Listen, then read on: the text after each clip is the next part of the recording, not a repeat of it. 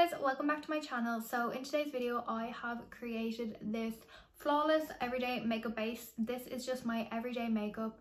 This is what I do to get the most full coverage, flawless, dewy skin. In this video, I share all my tips and tricks to get this flawless, full coverage, dewy base. So I hope you guys enjoyed this video. So before we go into any sort of makeup, I just want to let you guys know that personally I find that skin prep and skincare is what makes my makeup go on flawlessly, which makes it stay hydrated all day, which just makes it look overall better and that it stays like that throughout the day. So it's all down to my skincare and my skin prep and also the techniques that I use to do my makeup if that makes sense. So first off i'm just going to let you know what type of skincare i have on me today. So i have washed my face with a cleansing balm. That is the Elemis cleansing balm. And then i put on a serum. I use the charlotte tilbury skin elixir. Is that what it's called?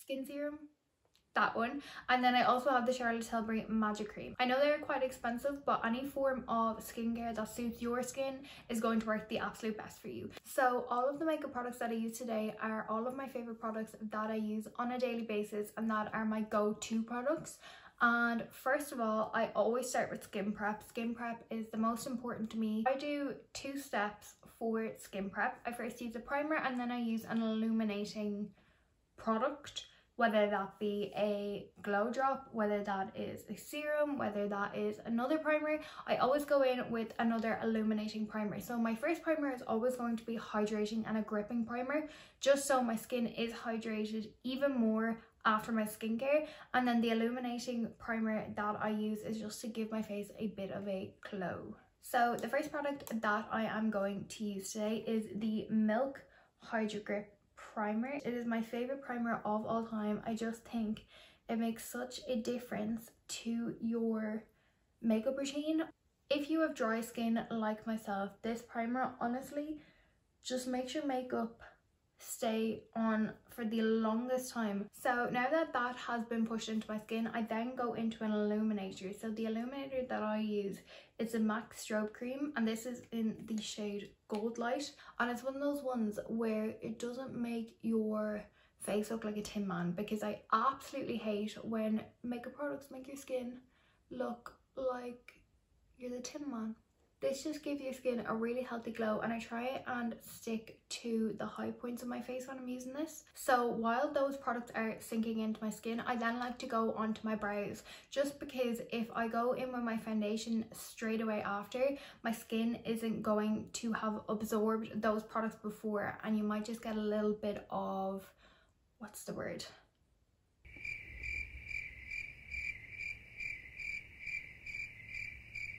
You might just get a little bit of clinging if the products are still drying into your skin and then you pop on foundation afterwards. So I'm going to give you two options of brow gels and two options of brow pencils that I use just because I do switch between these depending on the day. So the first out of the brow gels is my ultimate favourite which is the ModelCo clear brow gel. It just looks like this. This brow gel is the best brow gel that i've ever used. It literally does not move your brows and it does the exact same as soap brows just in a brow gel formula and then the next product that I have is the soap brows. Now, you've probably seen this everywhere. I feel like everyone and their mother uses it. This brow gel at the beginning, I did not get along with. I thought it was absolutely useless. I was like, why do people like this so much? I cannot get the hang of it.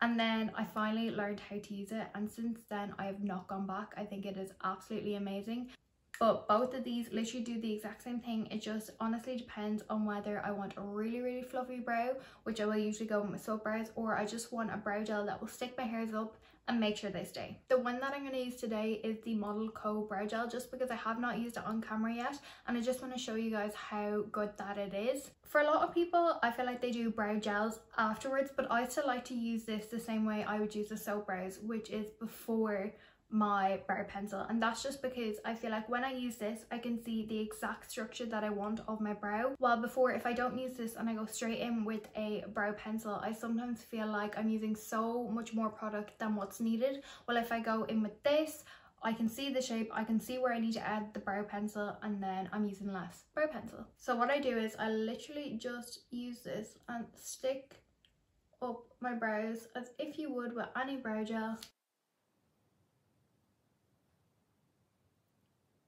It is as simple as that. Okay, so now that they have dried down, I'm now going to go into a brow pencil. So I have two options for brow pencils. It honestly depends on my mood once again. So the first one that I have is the Benefit Precisely My Brow Pencil. I feel like everyone uses this. I use mine in the shade 3.5 and I'm actually running out of it. I've got that much left, like the tiniest amount left. And then the other option that I have is the P. Louise Brow Pencil. This is in the shade Hazelnut Latte. This is a lot skinnier pencil than the Benefit one, but it's a little bit darker. So that's why sometimes I don't use this. So depending on if I'm doing a heavy look, I will go in with the P. Louise brow pencil but if I want more of a natural look I will go in with the Benefit one. Even though this one is a little bit darker it still matches my brows and my hair perfectly. So both of my brows are now done. Now that my primers have settled into my skin I'm going to go into foundation and I feel like you already know what foundation that I'm going to use. Of course, I'm going to be using the NARS Natural Radiant Longwear Foundation. Honestly, you cannot beat this foundation. This is the best foundation in the entire world and I honestly will never ever replace this. I do like other foundations and I do sometimes use them. But if I want a flawless base and I want it to last and I want it to look super dewy, super full coverage, then I will always go in with this. I have mine in the shade Stromboli. This is my tan shade. Obviously, I have tan on. So this is where I feel like people differ in techniques. I prefer to use a brush for a more full coverage look. You can use a sponge if you want less coverage, but personally for me, I prefer to use a brush. So what I like to do is depending on the day i will take it on the back of my hand i will take it on a brush i will take it straight onto my face it honestly just depends so what i'm doing is i am pressing this into my skin as you can see, the smallest pump ever has covered that whole entire section of my face. Now, I will build this up, but I just want to show you with one layer what this foundation can look like. So it has covered quite a bit. I still have a few blemishes coming through, but it is even out my skin tone and it's just super glowy, which is the exact type of foundation I want. So I always press into my skin just because if you try and buff the foundation in you're just going to be moving it around. And what that's going to do is it's not going to give you an even coverage. It's not going to give you an even base. You're just going to have splotches everywhere. So pressing it into the skin is going to even it out and it's also going to make it last longer because you're pushing it into your skin. So with one layer on that's what that foundation looks like. It's very lightweight. It just evens out your skin and gives you a really really nice glow. For some people that might be enough coverage. Personally for me i would like a little bit more just around the bottom half of my face here just because i do have a little bit of spots and blemishes that i want to cover. My forehead i don't mind so much about being less coverage. I actually prefer it especially because we are going to be going in with cream contour and the cream contour that i use is a concealer so it's already going to be more coverage on my face so I don't mind leaving my forehead as much but for now I am going to just add a little bit more coverage on the bottom half of my face. So now that foundation is done I'm going to go into my concealer and once again you've probably seen this before it is the Too Faced Born This Way concealer. I have mine in the shade Porcelain which actually suits me perfectly for tan. This concealer is the best concealer ever. So I just pop it underneath my eyes a little bit on my nose, a little bit on the side of my forehead, my chin, my cupid's bow and around my nose. I like to use a brush. It gives me way more coverage. It's not absorbing any product. So once again, I'm using the same techniques as I would with a foundation. I'm just pressing it in. I'm not swiping. I am not buffing. I'm literally just pressing it into my skin that is what the concealer looks like on. I don't put concealer on my lids just because i go in with a product that i'll be showing you in a moment but yeah this is what the concealer looks like. So for cream contour i use the nyx can't stop won't stop concealer and this is in the shade mahogany. Now this is perfect for me when i'm tanned. If i had pale skin i would not be using this as cream contour just because it's quite dark if you would like to see an everyday makeup tutorial for when I'm pale, let me know and I can do that for you because I use very different products when I'm pale versus when I am tanned. So as you can see, I've just placed it on my forehead, on my cheeks, on my nose and on my chin. I don't do my jawline because sometimes it can look like I haven't blended my foundation in very well. So I like to keep it there. And as you can see, I've only used the tiniest tiniest amounts and to blend it in I'm going to go in with an angled brush this is the blank canvas F84 the reason I go in with an angled brush is because when I'm doing my cheeks I can really get the angle on it what I do with this again like every other cream product I just press it into my skin. Now this product is kind of hit or miss with how much you put on. You kind of have to just eyeball it. I try and go for very little amounts because as you can see it is quite pigmented. So for my cheeks I just press it in and I try and bring it upwards just because it lifts the face more and you're not left with you know sagging cheeks or it looking muddy so I just press it in and like I said before it is so easy to work with. You just press it all in and it looks flawless. And I do the same for my nose I just press it in. Same for my chin. I kind of drag it on my chin. I try and keep it to like this section here because again I don't want it to look like I have not blended my foundation. So next is a new product that I have added into my everyday makeup routine and I'm so so so happy I have. I tried this maybe two weeks ago and since then I have been obsessed. I have been using the P. Louise base as a cream blush and this is in the shade Winter Rose. What I'm going to do is I'm going to pop literally the tiny, like that's way too much. And I'm going to take a stippling brush and I'm just going to dab into it and try and get as little product on this as possible and what I'm going to do is I'm just going to start stamping it onto my cheeks. When it looks like this, I will then go in with my foundation brush to blend it out. So because I'm using my foundation brush, it's just going to sheer it out and melt it into the skin and make it look less harsh. So next is powder and there have been two powders that I've gone between this year. The first one is the Huda Beauty Easy Bake Loose Setting Powder in the shade Sugar Cookie.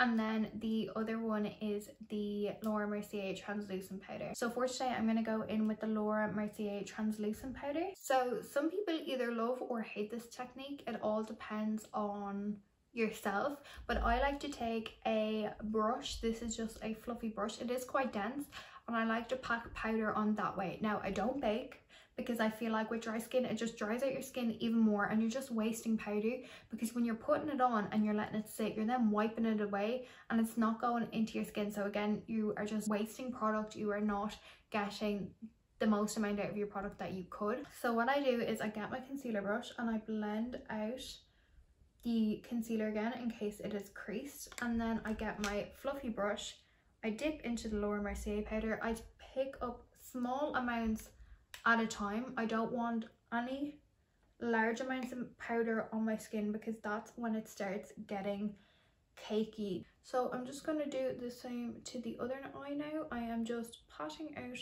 my concealer and then going in with a small amount of powder. So then for the rest of my face, I just take a really big fluffy brush. This one is kind of dense, but honestly, it does not matter. You can use a less dense one, a more dense one, a smaller one, a bigger one. It's up to you. So like the technique that I use with the fluffy brush for underneath my eyes and my T-zone, I'm just going to press it into my skin so just like the foundation, the reason I am tapping into my skin and pressing it into my skin is that it's going to make it last longer and it's going to make sure that it isn't just sitting on top of your skin because that's when cakiness and creasing starts happening is when you haven't pressed the products into your skin. Even though we have set our face with a matte translucent powder, the glow is still coming through because of the products that we've used underneath our skin and that is what's going to make your makeup look either glowy or more matte or more hydrated or more dry. So that's what I mean by skin prep. The skin prep underneath your makeup is what's going to make your makeup look the best. So next I'm going to go in with bronzer and this is the only bronzer that I will ever use. It is the MAC Mineralized Skin Finish. Now I have two shades that I use. I've Give Me Sun and I have this shade here which is dark. I'm going to go in with dark today. The reason I love the Mineralized Skin Finishes is because they are a baked formula. Now baked formula is going to go on smoother, it's going to go on lighter, it's going to be more buildable and you're not going to have to do as much blending. So what I like to do is I like to press and buff at the same time. So I'll press it in first and then I will kind of like sweep.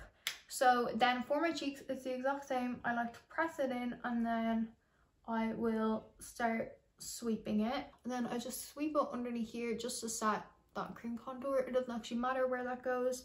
And then for my nose, again, because I don't contour my nose, I'm just like to give it an overall bronze. Literally just sweep it.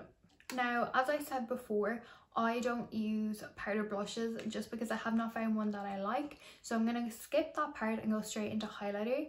And the new highlighter that I absolutely am obsessed with is the Illamasqua Beyond Powder Highlighter in the shade OMG. I like to take this on just a fluffy brush and just sweep it all over my cheeks, but I will show you how I do that. So I just use a fluffy brush like this. This is the Blank Canvas F28 and I just dip into it as much or as little as I like. The great thing about this powder is it doesn't give any kickback whatsoever. So you're not left with a load of powder around the outside, which I love. And then I also just pop it on my forehead just to give it a bit of a glow. So for my nose and my lips, I use this brush here. It is a Zoeva 238 Luxe Precise Shader Brush and I just take it and I do the tip of my nose. So whether I'm doing an eye look or whether I decide to just have mascara on, I will always, always, always use the P. Louise base to carve out my brows and do my eyelids. So to pop the P. Louise base onto my eyes, I just use a flat domed brush. It's not domed, what would you call it? What did she call it?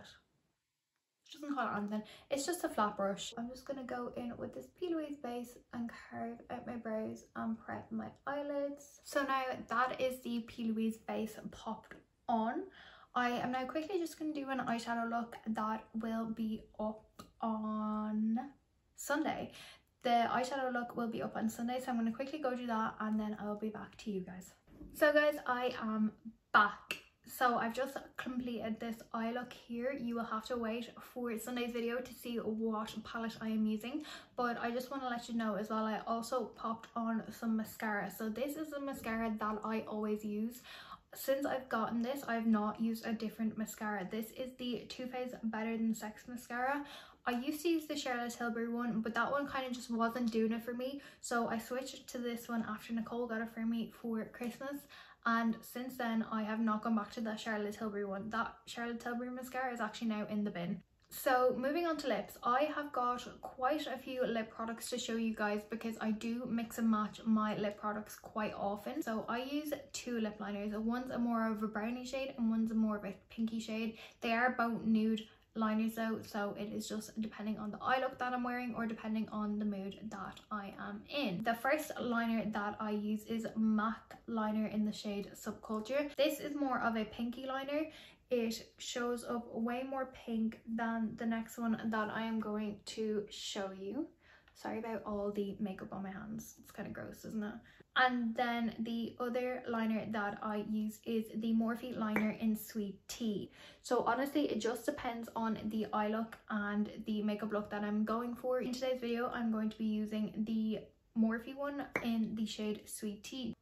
What I do for liner is I line underneath my lip just because I kind of like to change the shape of my lips a little bit when I'm using makeup instead of getting lip filler um, so I will line underneath my lip here and then for the top I follow my natural cupid's bow but I go a little bit higher. So for lipstick just like liner I have three different lipsticks that I like to choose from all depending on again the type of eye look that I have on and what colour I would like my lips to be. The first one is no surprise, it is MAC Honey Love. A lot of people like to use Velvet Teddy, but I find Velvet Teddy a bit too pink for me at times so honey love is a little bit of a lighter pink then the next lipstick which is more of a brownie tone nude is the P. Louise lipstick and this is in the shade heights this lipstick is more of a brownie nude compared to mac honey love and then last but not least this one is quite new to me it is the charlotte tilbury lipstick in the shade very victoria